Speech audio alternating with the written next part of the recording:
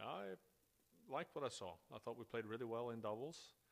Uh, so we set the tone there, and um, uh, one doubles team in particular I thought was absolutely outstanding. They uh, served well, they returned well, and they were just relentless at the net. Our two team, um, I told them it was probably the most I've seen us in weeks here getting a hold of first balls at the net too. So we did a good job pinching the middle and uh, three made a lot of returns and first serves, which is what we stressed uh, as far as doubles is concerned. So you know that set a great tone for us. And then I thought we were uh, excellent in singles as well. We had high ball tolerance when we needed to, and we were aggressive on those courts where we were able to move forward. So overall, I was very pleased.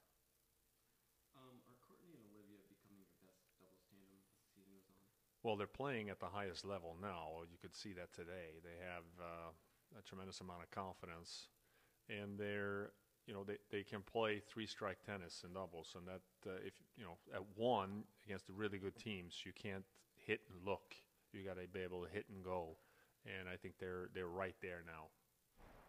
Um, I don't know if you saw what, what was going on with them, but Belinda and Stephanie didn't. Belinda didn't get her first set, and Stephanie barely got her first set. You see what was going on? They were struggling at all. Uh, no, I thought Belinda did well. That the player at five for LSU makes a million balls, and that's something we've been practicing with Belinda.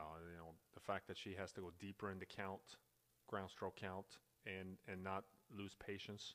And the player today was an excellent test for her. And down five four, she made some great decisions, stepped forward when she needed to, and then she was ultimately up six five in the first set. So I was actually happy with what transpired, even though we didn't get the finish it was an hour and I don't know how long first set, but uh, it, we looked like we were the stronger player by the time it ended, and, and I was very pleased with that.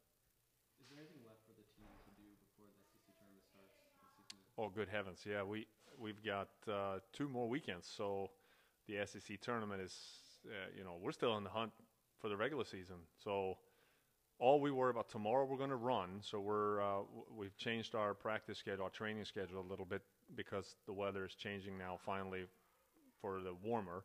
And so we're actually going to run. We're going to go to the grass tomorrow afternoon. So we ran a little bit yesterday. We played today, and we're going to run a lot tomorrow and then take Tuesday off. So we're beginning the you know maybe the the outdoor you know the physical part of our training now. And so uh, the the tournament is is uh, too far away for us to worry about that at this point.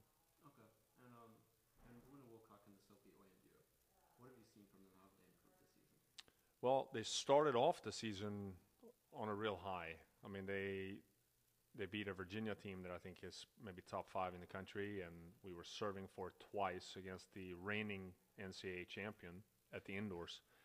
But maybe uh, you know a few weeks after that period, they took a few losses, lost a little confidence, and and today was really good. It was key. They played a good team today where they had to make good decisions, and like I said, be more aggressive on our own serves. And I think today was a great step for us. They needed to find that little swagger again, and today was a good sign. Thank you.